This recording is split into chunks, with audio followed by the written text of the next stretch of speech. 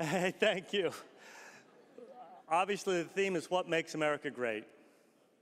I have never seen a Pledge of Allegiance that was so spectacular. If we need an image,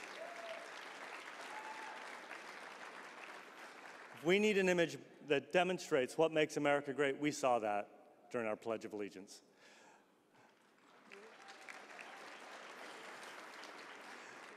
We all know what socialism is. Socialism is an ideology that robs people of everything they have their ideas, their political power, their economic freedom, even their dignity.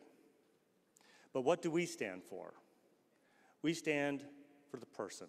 We stand for the proposition that all people are deserving of equal dignity and respect and entitled to their God given rights.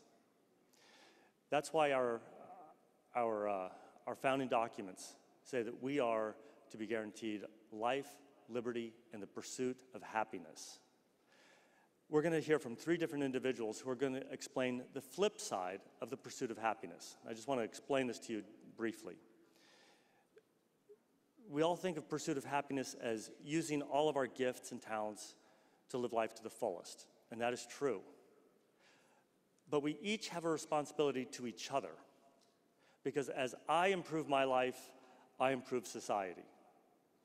These three individuals that we're going to hear from today used to have a belief system that was wrong. They were moving in the wrong direction.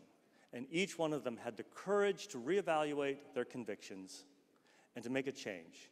And because they made those changes in their lives, we are all better for it. I want to introduce first Abby Johnson, a former director of Planned Parenthood. Abby.